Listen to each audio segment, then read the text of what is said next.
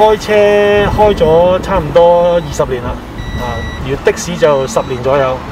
娴熟的动作，老练的车技，对于香港的哥林桂明来说，这天是个特别的日子。他要加入一个爱心抗疫车队，为疫情之下的香港医护人员提供义务接送服务。这天上午，林桂明早早将车子擦拭干淨，等待接送第一批醫護人員。因為誒、呃、疫情都兩年幾啦，今年越嚟越嚴重。咁其實之前我哋都知道有啲師傅都唔係咁願意去接載一啲誒、呃，譬如話醫護人員或者即係見到佢要去醫院嘅乘客，佢都未必中意載。咁但係我哋就即係唔係咁想見到呢啲嘢咯。啊，盡量我哋做到盡量做咯。而家有呢個活動，我哋又可以為誒醫護人員服務都 OK 嘅，係啊，冇問題嘅。香港第五波疫情來勢汹汹，對香港市民的生產生活造成衝擊，乘客變少，收入骤降。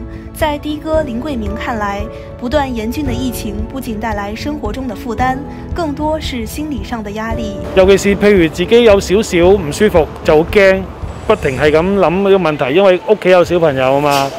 咁啊，生活改變咗，客人少好多。咁啊，平時就收入一定係少咗噶啦。咁啊，样嘢壓力，所有嘢都增加咗。虽然充满忧心与忐忑，但林桂明仍坚持每天出车。谈及参与爱心车队的初衷，林桂明说：一次搭载医务人员的经历让自己深受触动，于是他决定走出来，与一线抗疫人员一同并肩作战。即係之前我都有車，即係接載過醫護人員嘅，即係時間又要輪班啦，不不眠不休啦。咁啊，又要喺啲病菌隔離嗰度作戰啦，咁真係感受到佢哋好辛苦，所以我哋要同佢哋一齊並肩作戰。好坦白講，誒、我又有親人，有親人係喺誒醫院裏邊做嘅，咁我哋都好即係好感受到，所以變咗我都係啊，所以好其實好支持嘅，真係，因為冇醫護人員嘅話，我諗香港可能嗰個後果仲嚴重，係啊，真係醫護人員都唔驚，我哋更加唔驚啦。醫護人員喺第一線喺前線。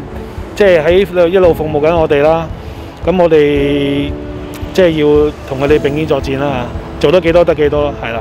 隨着連日來中央援港醫療團隊和物資的陸續抵達，林桂明坦言，這些支援措施讓香港民眾更有信心和底氣。作為一名香港年輕人，他也希望用自己的方式為抗疫貢獻一份力量。我覺得中央嗰啲設施同設備同埋人員都好有經驗，我哋真係其實都好赞成中央幫我哋嘅。咁啊，中央支持緊我哋更加有信心。作為八零後啦，咁。